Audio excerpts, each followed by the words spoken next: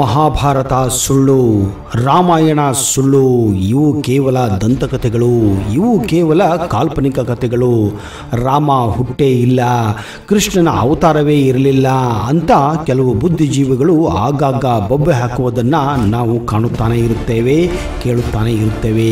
ಆದರೆ ಇಂಥ ಬುದ್ಧಿಜೀವಿಗಳಿಗೆ ಸ್ವಲ್ಪ ಬುದ್ಧಿ ಕೊಡುವ ಕೆಲಸ ಇತ್ತೀಚೆಗೆ ಮಹಾಭಾರತ ಹಾಗೂ ರಾಮಾಯಣದ ಅಸ್ತಿತ್ವ ಬಗ್ಗೆ ಎತ್ತಿದ ಪ್ರಶ್ನೆಗಳಿಗೆ ಹಲವಾರು ಪುರಾವೆಗಳು ಹಲವಾರು ಸಾಕ್ಷಿಗಳು ಈಗಲೂ ಕೂಡ ದೊರಕುತ್ತಿವೆ. ಬನ್ನಿ, ಆ ಸಾಕ್ಷಿಗಳ ಬಗ್ಗೆ, ಆ ಪುರಾವೆಗಳ ಬಗ್ಗೆ ಕೆಲವು ಅಚ್ಚರಿಯ ಮಾಹಿತಿಯನ್ನ ಇವತ್ತಿನ ಈ ವಿಡಿಯೋದಲ್ಲಿ ನಿಮಗೆ ಕೊಡ್ತಾ ಇದ್ದೀನಿ. ಅದಕ್ಕಿಂತ ಮೊದಲು ನೀವು ನಮ್ಮ ಚಾನೆಲ್ಗೆ ಹೊಸಬರಾಗಿದ್ದರೆ ದಯವಿಟ್ಟು ಈಗಲೇ ಸಬ್ಸ್ಕ್ರೈಬ್ ಮಾಡಿ, ಜೊತೆಗೆ ಬೆಲ್ಲೈಕನ್ ಕೂಡ ಪ್ರೆಸ್ ಮಾಡಿ.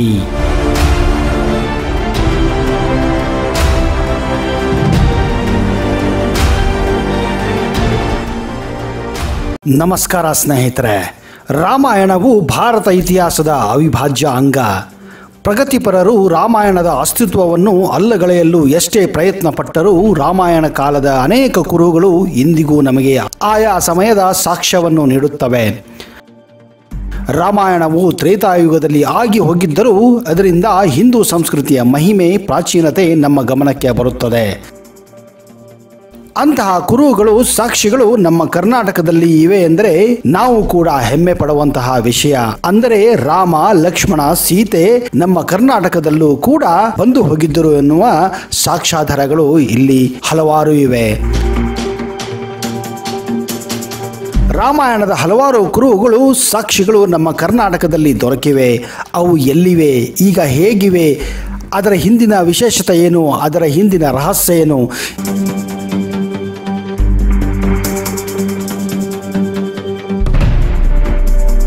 ಅವನಿ ಕೋಲಾರ ಜಿಲ್ಲೆ. ಅವನಿ ಕೋಲಾರ ಜಿಲ್ಲೆಯ ಮುಳುಬಾಗಿಲು ತಾಲೂಕಿನಲ್ಲಿ ಸುಮಾರು ಹತ್ತು ಮೈಲಿ ದಕ್ಷಿಣದಲ್ಲಿರುವ ಒಂದು ಪುಣ್ಯಕ್ಷೇತ್ರ. ಸ್ಥಳೀಯರ ನಂಬಿಕೆಯ ಪ್ರಕಾರ ಈ ಗ್ರಾಮ ಮತ್ತು ಸುತ್ತಮುತ್ತಲಿನ ಪ್ರದೇಶ ಪುರಾಣ ಪ್ರಸಿದ್ಧವಾದ ಅವಂತಿಕಾ ಕ್ಷೇತ್ರವಾಗಿತ್ತು. ಇದೇ ಕ್ಷೇತ್ರದಲ್ಲಿ ವಾಲ್ಮೀಕಿ ಋಷಿಯ ಆಶ್ರಮವಿದ್ದು ಇಲ್ಲಿಯೇ ಬೆಟ್ಟದಲ್ಲಿಯೇ ರಾಮ ಲಂಕೆಯನ್ನು ಗೆದ್ದು ಅಯೋಧ್ಯೆಗೆ ಹಿಂದಿರುಗುವ ಹಾದಿಯಲ್ಲಿ ಇಲ್ಲಿ ಬಂದಿದ್ದು ಹಾಗೆಯೇ ಒಂದು ಲಿಂಗವನ್ನು ಪ್ರತಿಷ್ಠಾಪನೆ ಮಾಡಿದ್ದನು. ಇದೇ ಕಾರಣ ಇಲ್ಲಿ ರಾಮಲಿಂಗೇಶ್ವರ ದೇವಸ್ಥಾನ ಕೂಡ ಇದೆ. ಮುಂದೆ ಸೀತಾದೇವಿ ಗಂಡನಿಂದ ಕಾಡಿಗೆ ಕಳಿಸಲ್ಪಟ್ಟಾಗ ಇಲ್ಲಿ ಬಂದು ತಂಗಿ ಲವಕುಶರಿಗೆ ಜನ್ಮವಿತ್ತಳೆಂದು ಲವಕುಶರು ರಾಮನ ಯಜ್ಞಾಶ್ವತವನ್ನು ಕಟ್ಟಿ ರಾಮನೊಡನೆ ಇಲ್ಲಿಯೇ ಯುದ್ಧ ಮಾಡಿದ್ದನೆಂದು ಐತಿಹ್ಯ ಇದೆ. ಈ ಘಟನೆಗಳಿಗೆ ಸಂಬಂಧಪಟ್ಟಂತೆ ಈ ಸುತ್ತಲಿನ ಅನೇಕ ತಾಣಗಳು, ವಾಲ್ಮೀಕಿಯ ಕುಟೀರ, ಲವಕುಶರ ತೊಟ್ಟಿಲು, ಸೀತೆಯ ಅಡುಗೆ ಪಾತ್ರೆ, ಅವಳು ಬಟ್ಟೆಯುಗುತ್ತಿದ್ದ ಕೊಳ, ಲವಕುಶರು ಯಜ್ಞಾಶ್ವತವನ್ನು ಕಟ್ಟಿದ ಬಂಡೆ, ರಾಮ ಲಕ್ಷ್ಮಣರು ಕುಳಿತಿದ್ದ ಬಂಡೆ ಇತ್ಯಾದಿಗಳು ಇಲ್ಲಿ ಇಂದಿಗೂ ನಿಮಗೆ ಗೋಚರಿಸುತ್ತವೆ.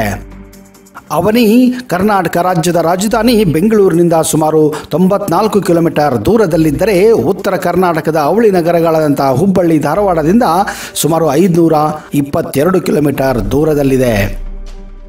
ಕಿಷ್ಕಿಂದೆ ವಿಜಯನಗರ ಜಿಲ್ಲೆ. ತ್ರೇತಾಯುಗದಲ್ಲಿ ಈ ಒಟ್ಟಾರೆ ಪ್ರದೇಶವು ದಂಡಾಕಾರಣ್ಯವಾಗಿತ್ತು. ಆದ್ದರಿಂದಲೇ ಈ ಒಂದು ಅರಣ್ಯ ಪ್ರದೇಶವು ವಾನರ, ಅಂದರೆ ಕೋತಿಗಳ ಸಾಮ್ರಾಜ್ಯವಾಗಿತ್ತು. ಅಂಜನಾದ್ರಿ ಬೆಟ್ಟದ ಸಾಲುಗಳನ್ನು ಹನುಮಂತನ ಹುಟ್ಟಿದ ಸ್ಥಳ ಎಂದು ನಂಬಲಾಗಿದೆ. ಹಿಂದೆ ಸುಗ್ರೀವ ಮತ್ತು ವಾಲಿಯ ನಡುವೆ ಘೋರ ಯುದ್ಧ ನಡೆದಿತ್ತು. ಈಗಿರಲು ಸುಗ್ರೀವ ಹಾಗೂ ಅವನ ಮಿತ್ರ ಆಂಜನೇಯ ಮಾತುಂಗ ಬೆಟ್ಟದ ಮೇಲೆ ಆಶ್ರಯ ಪಡೆದಿದ್ದರು. ವಾಲಿಯು ಋಷಿಯ ಶಾಪದಿಂದ ಅಲ್ಲಿಗೆ ಬರಲು ಸಾಧ್ಯವಿರಲೆಂದು ತಿಳಿದು ಬೆಟ್ಟದಲ್ಲಿ ಸಣ್ಣ ಗುಹೆಯ ಒಳಗೆ ಸುಗ್ರೀವ ಮತ್ತು ಆಂಜನೇಯ ಅಲ್ಲೇ ತಂಗಿದ್ದರು. ಇದೇ ಸ್ಥಳದಲ್ಲಿ ಅಂದರೆ ಮಾತಂಗ ಪರ್ವತದಲ್ಲಿ ಮೊಟ್ಟ ಮೊದಲ ಬಾರಿಗೆ ಆಂಜನೇಯನಿಗೆ ರಾಮನ ದರ್ಶನವಾಗಿದ್ದು, ನಂತರ ರಾಮನು ವಾಲಿಯನ್ನು ಕೊಂದು ಸುಗ್ರೀವನನ್ನು ವಾನರ ರಾಜ್ಯದ ರಾಜನಾಗಿ ಮಾಡುತ್ತಾನೆ. ಈ ಕಿಷ್ಕಿಂದ ನಗರ ಕರ್ನಾಟಕ ರಾಜ್ಯದ ರಾಜಧಾನಿ ಬೆಂಗಳೂರಿನಿಂದ ಮುನ್ನೂರ ನಲವತ್ತೆರಡು ಕಿಲೋಮೀಟರ್ ದೂರದಲ್ಲಿದ್ದರೆ ಹುಬ್ಬಳ್ಳಿ ಧಾರವಾಡದಿಂದ ನೂರ ಎಂಬತ್ತೊಂದು ಕಿಲೋಮೀಟರ್ ದೂರದಲ್ಲಿದೆ. ಲಕ್ಷ್ಮಣ ತೀರ್ಥ. ಇನ್ನು ರಾವಣ ಸೀತೆಯನ್ನು ಅಪಹರಿಸಿದ ವೇಳೆ ರಾಮ ಲಕ್ಷ್ಮಣ ಇಬ್ಬರು ಸೀತೆಯನ್ನು ಹುಡುಕಿ ಬ್ರಹ್ಮಗಿರಿ ಮಾರ್ಗವಾಗಿ ತೆರಳುತ್ತಾರೆ. ಈ ವೇಳೆ ಬಾಯಾರಿಕೆಯಿಂದ ಬಳಲಿದ ರಾಮನಿಗೆ ನೀರು ಕೊಡಲು ಲಕ್ಷ್ಮಣ ಬೆಟ್ಟಕ್ಕೆ ಬಾಣ ಹೊಡೆಯುತ್ತಾನೆ. ಅಲ್ಲಿಯೇ ಒಂದು ನೀರು ಚಿಮ್ಮುತ್ತದೆ. ಅದನ್ನೇ ಲಕ್ಷ್ಮಣ ತೀರ್ಥ ಎಂದು ಕರೆಯುತ್ತಾರೆ. ಕೊಡಗಿನ ಬ್ರಹ್ಮಗಿರಿ ಬೆಟ್ಟದಲ್ಲಿ ಹುಟ್ಟುವ ಲಕ್ಷ್ಮಣ ತೀರ್ಥ ನದಿ ಮೈಸೂರು ಜಿಲ್ಲೆಯ ಹುಣಸೂರು ಸಮೀಪ ಕಾವೇರಿ ನದಿ ಸೇರುತ್ತದೆ. ಲಕ್ಷ್ಮಣ ತೀರ್ಥ ನದಿ ಈರ್ಪು ಜಲಪಾತವಾಗಿ ಇಂದಿಗೂ ಪ್ರವಾಸಿಗರನ್ನು ಆಕರ್ಷಿಸುತ್ತವೆ.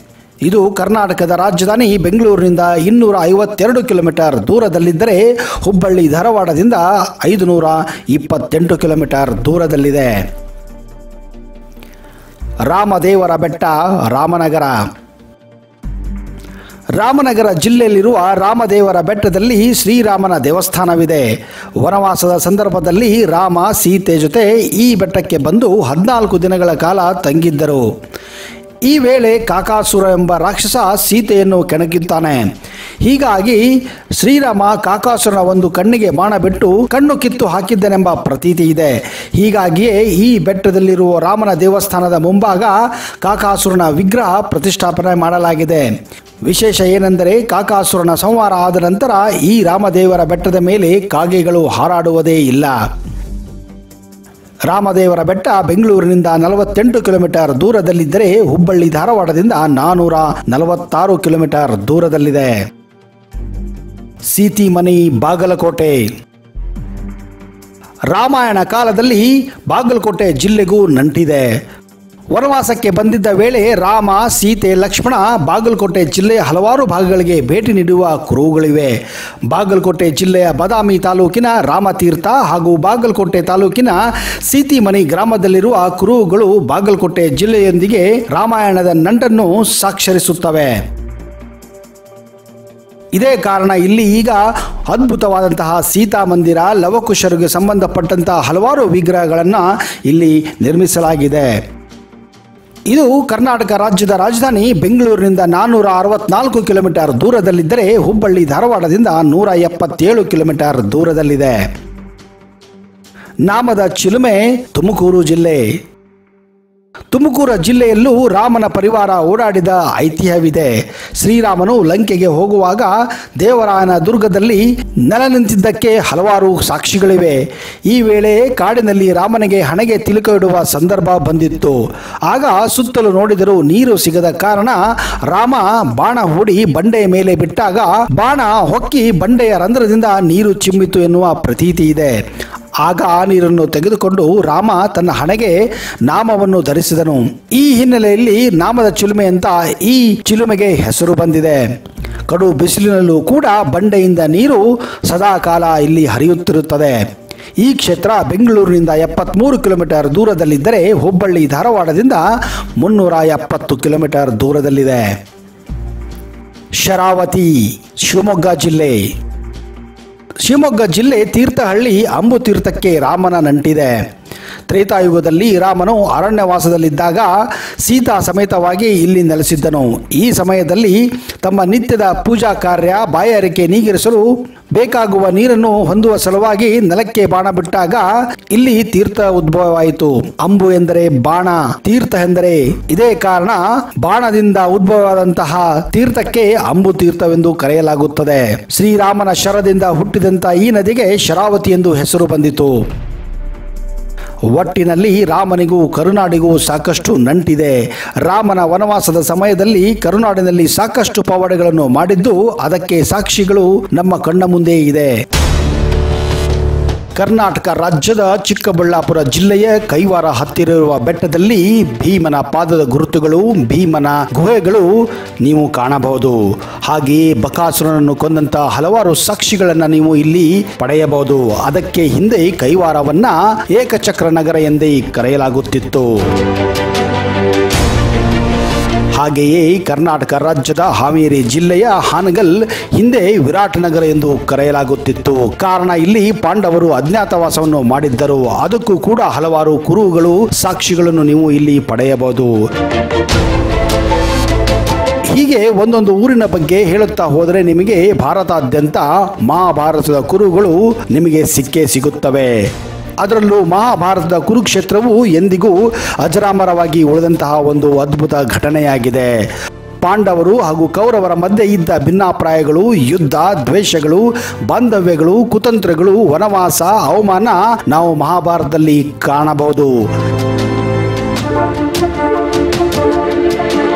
ಯುಗವನ್ನೇ ತನ್ನ ಕೈಯಲ್ಲಿ ಹಿಡಿದಿದ್ದ ಯುಗ ಪುರುಷ ಶ್ರೀಕೃಷ್ಣನನ್ನು ನಾವು ಮಹಾಭಾರತದಲ್ಲಿ ಮರೆಯುವಂತಿಲ್ಲ. ಮಹಾಭಾರತವು ಸಹೋದರರ ಸಂಘರ್ಷ, ದ್ವೇಷ, ರಾಜಕೀಯ, ಚತುರತೆ, ಭಗವದ್ಗೀತೆಯ ಸಾರವನ್ನೆಲ್ಲ ನಿಮಗೆ ಸಾರಿ ಸಾರಿ ಹೇಳುತ್ತದೆ. ಹೌದು, ಮಹಾಭಾರತ ಯುದ್ಧ ನಡೆದ ಕೆಲವು ಅವಶೇಷಗಳು ಈಗಲೂ ಕೂಡ ಪತ್ತೆಯಾಗುತ್ತಿವೆ. ಅಂತಹ ಕುರುಗಳ ಸಂಶೋಧನೆ ಈಗಲೂ ಕೂಡ ನಡೆಯುತ್ತಿದೆ. ಅಂತಹದೇ ಕೆಲವೊಂದು ಪತ್ತೆಯಾದ ಕೆಲವೊಂದು ಅಚ್ಚರಿಯ ಕುತೂಹಲಕಾರಿ ಸಾಕ್ಷಿಗಳನ್ನ ನಿಮ್ಮ ಮುಂದೆ ಪ್ರಸ್ತುತಪಡಿಸಲು ಪ್ರಯತ್ನ ಮಾಡ್ತಿದ್ದೀನಿ ಮಹಾಭಾರತದಲ್ಲಿನ ಗಾಂಧಾರ ದೇಶವನ್ನು ಇಂದಿನ ಆಫ್ಘಾನಿಸ್ತಾನದ ಕಾಂಧಾರ ದೇಶವಾಗಿ ಮಾರ್ಪಡಿಸಲ್ಪಟ್ಟಿದೆ. ಈ ದೇಶದ ಮುಖ್ಯ ನಗರವಾಗಿ ತಕ್ಷಶಿಲಾ ಪ್ರಸಿದ್ಧ ಹೊಂದಿತ್ತು. ಈ ಸ್ಥಳವು ಪ್ರಸ್ತುತ ಪಾಕಿಸ್ತಾನದಲ್ಲಿದೆ. ಈ ರಾಜ್ಯದಿಂದಲೇ ಧೃತರಾಷ್ಟ್ರನ ಪತ್ನಿಯಾದ ಗಾಂಧಾರಿ ಮತ್ತು ಕೌರವ ಮಾವನಾದ ಶಕುನಿ ಈ ಸ್ಥಳದಿಂದಲೇ ಬಂದವರು. ಈಗಲೂ ಈ ಪ್ರದೇಶವನ್ನ ಕಾಂಧಾರ ಎಂದು ಕೂಡ ಕರೆಯುತ್ತಾರೆ. ಆದರೆ ಮಹಾಭಾರತ ನಡೆದಿದ್ದು ಸತ್ಯ ಅನ್ನೋಕೆ ನಿಮಗೀಗ ಮತ್ತೊಂದು ಪುರಾವೆ ಸಿಕ್ಕಿದೆ. ಮಹಾಭಾರತ ಕಾಲದ ಯುದ್ಧದ ರಥವನ್ನು ಇದೀಗ ಉತ್ತರ ಪ್ರದೇಶದ ಬಾಗ್ಬತ್ ಜಿಲ್ಲೆಯಲ್ಲಿ ಪತ್ತೆಯಾಗಿರುವುದು ಎಲ್ಲರಲ್ಲೂ ಅಚ್ಚರಿಯನ್ನು ಉಂಟು ಮಾಡಿದೆ. ಹಾಗೆಯೇ ಹಲವಾರು ಕುತೂಹಲಗಳನ್ನು ಕೂಡ ಪ್ರತಿಯೊಬ್ಬ ಹಿಂದುವಿನಲ್ಲೂ ಸೃಷ್ಟಿಸಿದೆ. ಮಹಾಭಾರತ ಯುದ್ಧದಲ್ಲಿ ಬಳಸಲಾದ ರಥ ಇದು ಎನ್ನುವುದಕ್ಕೆ ಹಲವಾರು ವಾದಗಳಿದ್ದವು. ಮಹಾಭಾರತ ನಂತರ ಅವಧಿಯ ಅನೇಕ ಸತ್ಯಗಳು ಮತ್ತು ರಹಸ್ಯಗಳನ್ನು ಭೂಗರ್ಭದಲ್ಲಿ ಹುದುಗಿದ್ದ ಸತ್ಯವನ್ನು ಇದೀಗ ಪತ್ತೆಹಚ್ಚಲಾಗಿದೆ. ವಾಸ್ತವವಾಗಿ ಉತ್ತರ ಪ್ರದೇಶನ ಬಾಗ್ಬತ್ ಜಿಲ್ಲೆಯಲ್ಲಿ ಸಿಕ್ಕಿರುವ ಐದು ಸಾವಿರ ವರ್ಷಗಳಷ್ಟು ಹಳೆಯ ಸಮಾಧಿಯ ಬಗ್ಗೆ ಪುರಾತತ್ವ ಇಲಾಖೆಯಲ್ಲಿ ಇದೀಗ ಚರ್ಚೆ ಹಾಗೂ ಅಚ್ಚರಿಯನ್ನು ಹುಟ್ಟುಹಾಕಿದೆ ಕೆಲವರು ಇದನ್ನ ಮಹಾಭಾರತದ ಅವಧಿಗೆ ಸೇರಿದ್ದು ಎಂದು ಹೇಳಿದ್ದರೆ ಇನ್ನು ಕೆಲವರು ಇದನ್ನ ಐರನ್ ಏಜ್ ಅಥವಾ ಕಂಚಿನ ಯುಗಕ್ಕೆ ಸೇರಿರಬಹುದೆಂದು ವಿಜ್ಞಾನಿಗಳು ಸಾರುತ್ತಿದ್ದಾರೆ. ಅಂದ ಹಾಗೆ ಈ ವಿಷಯ ತಿಳಿಯುತ್ತಿದ್ದ ಹಾಗೆ ಹಲವಾರು ದೇಶ ವಿದೇಶದ ವಿಜ್ಞಾನಿಗಳು ಭಾರತಕ್ಕೆ ಓಡಿ ಬಂದಿದ್ದಾರೆ. ಯಾಕಂದ್ರೆ ಮಹಾಭಾರತ ರಾಮಾಯಣದ ಬಗ್ಗೆ ಚರ್ಚೆ ಭಾರತದಲ್ಲಿ ಮಾತ್ರ ಅಲ್ಲ, ವಿಶ್ವಾದ್ಯಂತ ನಡೆಯುತ್ತಾ ಇದೆ. ಹೀಗಾಗಿ ಈ ವಿಜ್ಞಾನಿಗಳು ಹಾಗೂ ಸಂಶೋಧನಾ ಮಾಡುತ್ತಿರುವಂತಹ ಹಲವಾರು ಸಂಶೋಧಕರು ಈ ಜಾಗಕ್ಕೆ ಬಂದು ಠಿಕಾಣೆ ಹೂಡಿದ್ದಾರೆ. ಬಾಗ್ಬತ್ ಜಿಲ್ಲೆಯ ಸೋನಾಲಿ ಗ್ರಾಮದ ಐದು ಸಾವಿರ ವರ್ಷಗಳ ಹಿಂದಿನ ಪ್ರಾಚೀನ ರಥ ಆಗಿನ ಕಾಲದ ಕೆಲ ಶಸ್ತ್ರಾಸ್ತ್ರಗಳು ಉತ್ಖನನ ಮಾಡಿದಾಗ ಪತ್ತೆಯಾಗಿದ್ದನ್ನು ನೋಡಿದ ಹಿಂದಿನ ಯುಗಗಳ ಮಹಾಭಾರತ ಕಾಲದ ಹಲವಾರು ರಹಸ್ಯಗಳು ಇದೀಗ ಬಯಲಾಗುವ ಎಲ್ಲ ಲಕ್ಷಣಗಳು ಗೋಚರಿಸುತ್ತಿದೆ ಎನ್ನುವುದು ನಾವು ಹೇಳಲು ಇಷ್ಟಪಡುತ್ತೇವೆ. ಸನೋಲಿ ಗ್ರಾಮದಲ್ಲಿ ಇದೀಗ ಪುರಾತತ್ವ ಇಲಾಖೆ ಉತ್ಕಲವನ್ನು ಮುಂದುವರಿಸಿದ್ದು ಇನ್ನೂ ಹಲವು ವಸ್ತುಗಳು ಇಲ್ಲಿ ಸಿಗಬಹುದೆಂದು ಅಂದಾಜಿಸಲಾಗಿದೆ. ಸನೋಲಿ ಗ್ರಾಮದ ಈಗಿರುವ ಸ್ಮಶಾನಕ್ಕಿಂತ ಮೊದಲು, ಅಂದರೆ ಕಬ್ಬಿಣ ಯುಗ ಅಥವಾ ಕಂಚಿನ ಯುಗದ ರಥವೊಂದು ಈಗಿಲ್ಲಿ ಪತ್ತೆಯಾಗಿದೆ. ಇದಕ್ಕೂ ಮುನ್ನ ರಾಕಿ ಗಡಿ, ಕಾಲಿಬಂಗನ್ ಅಥವಾ ಲೋಥಾಲ್ ಈ ಸ್ಮಶಾನಗಳಲ್ಲಿ ಉತ್ಖನನ ಮಾಡಿದಾಗ ಕೆಲವು ಪುರಾವೆಗಳು ಕೂಡ ಸಿಕ್ಕಿರೋದು ಅಚ್ಚರಿಯನ್ನು ಉಂಟು ಮಾಡಿದೆ. ಇದೀಗ ಸಿಕ್ಕಿರುವ ಅಲ್ಲಿನ ರಥದ ಅವಶೇಷ ನೋಡಿದರೆ ಅದು ಮಹಾಭಾರತ ಅಥವಾ ಹರಪ್ಪ ನಾಗರಿಕತೆಯಲ್ಲಿ ಬಳಸಿದ್ದು ಎನ್ನಲಾಗಿದೆ. ಆದರೆ ಇವುಗಳನ್ನು ನೋಡಿದರೂ ಕೂಡ ಕೆಲವು ವಿದೇಶಿ ವಿಜ್ಞಾನಿಗಳು ಇದನ್ನು ನಂಬುತ್ತಿಲ್ಲ. ಇದೇ ಕಾರಣ ಇಲ್ಲಿ ಉತ್ಕಲನ ಕಾರ್ಯ ಹಾಗೂ ಸಂಶೋಧನೆ ಕಾರ್ಯ ನಿರಂತರವಾಗಿ ಮುಂದೆ ನಡೆದಿದೆ. ಕುರುಕ್ಷೇತ್ರ ಮಹಾಭಾರತದಲ್ಲಿ ಯುದ್ಧ ಭೂಮಿಯಾಗಿತ್ತು ಹೀಗಾಗಿ ಈ ಧರ್ಮ ಯುದ್ಧಕ್ಕೆ ಕುರುಕ್ಷೇತ್ರ ಎಂದೇ ಹೆಸರಿಸಲಾಗಿತ್ತು. ಇದು ಕೂಡ ಇಂದು ಹರಿಯಾಣದ ಅಂಬಾಲದಿಂದ ನಲವತ್ತು ಕಿಲೋಮೀಟರ್ ದೂರದಲ್ಲಿದೆ. ಇದೇ ಸ್ಥಳದಲ್ಲಿ ಶ್ರೀಕೃಷ್ಣನು ಭಗವದ್ಗೀತೆಯನ್ನು ಬೋಧಿಸಿದ್ದು, ಇಂದು ಇಲ್ಲಿರುವ ಬ್ರಹ್ಮ ಸರೋವರ ಬಹಳ ಜನಪ್ರಿಯವಾಗಿದೆ. ಸೂರ್ಯಗ್ರಹಣದ ಸಂದರ್ಭದಲ್ಲಿ ಯಾತ್ರಾರ್ಥಿಗಳು ಇಲ್ಲಿ ಕೆರೆಯಲ್ಲಿ ಬಂದು ಮುಳುಗಿ ತಮ್ಮ ಪಾಪಗಳನ್ನು ತೊಳೆಯಲು ಪ್ರಯತ್ನ ಮಾಡುತ್ತಾರೆ. ಮಹಾಭಾರತ ಯುದ್ಧಕ್ಕೂ ಮುನ್ನವೇ ಈ ಬ್ರಹ್ಮಕುಂಡದಲ್ಲಿ ಶ್ರೀಕೃಷ್ಣ ಹಾಗೂ ಯಾದವರು ಮುಳುಗಿದ್ದರು ಎಂದು ನಂಬಲಾಗಿದೆ. ಇದೇ ಕಾರಣ ಈ ಕುರುಕ್ಷೇತ್ರ ಇದ್ದಿರುವಂತಹ ಅಂಬಾಲಾದ ಈ ಅತಿ ದೊಡ್ಡ ಬಯಲು ಪ್ರದೇಶ ಈಗಲೂ ಕೆಂಪಾಗಿದೆ. ಕಾರಣ ಇಲ್ಲಿ ಹದಿನೆಂಟು ದಿನಗಳ ಕಾಲ ಮಹಾಭಾರತದ ಯುದ್ಧ ಅಂದರೆ ಕುರುಕ್ಷೇತ್ರ ನಡೆದಿತ್ತು. ಇದೆಲ್ಲ ನೋಡಿದ ಮೇಲೆ ರಾಮಾಯಣ, ಮಹಾಭಾರತ ಸುಳ್ಳು ಅಂತ ಹೇಳುವ ಬುದ್ಧಿಜೀವಿಗಳಿಗೆ ಹಾಗೂ ಜಾತ್ಯತೀತ ವಾದಿಗಳಿಗೆ ಇದೊಂದು ಅತಿ ದೊಡ್ಡ ಆಘಾತಕರ ಸುದ್ದಿಯಾಗಲಿದೆ. ಈಗಲಾದರೂ ಇಂತಹ ವ್ಯಕ್ತಿಗಳು ಬಾಯಿ ಮುಚ್ಚಿಕೊಂಡು ಇರುವುದು ಲೇಸು ಎಂದು ಫೋಕಸ್ ತಂಡದಿಂದ ಹೇಳಲು ಇಚ್ಛೆ ಪಡುತ್ತೇವೆ. ಇಂತಹ ಹಲವಾರು ಕುತೂಹಲಕಾರಿ ಹಾಗೂ ಆಶ್ಚರ್ಯ ವಿಷಯಗಳನ್ನು ಮುಂದಿನ ಸಂಚಿಕೆಗಳಲ್ಲೂ ಕೊಡಲು ನಾವು ಇಷ್ಟಪಡುತ್ತೇವೆ. ಅಲ್ಲಿಯವರೆಗೆ ಜೈ ಹಿಂದ್, ಜೈ ಕರ್ನಾಟಕ ಆ್ಯಂಡ್ ಟೇಕ್ ಕೇರ್